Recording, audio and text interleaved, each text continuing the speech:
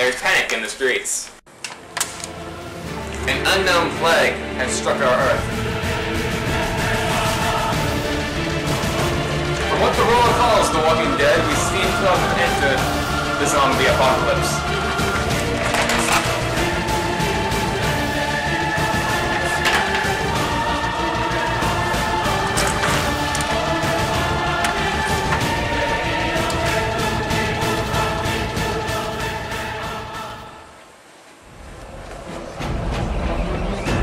Tell the story.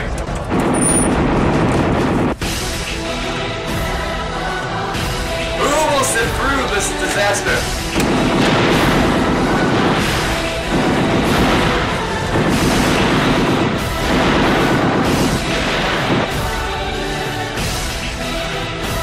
Who will find the solution to this problem?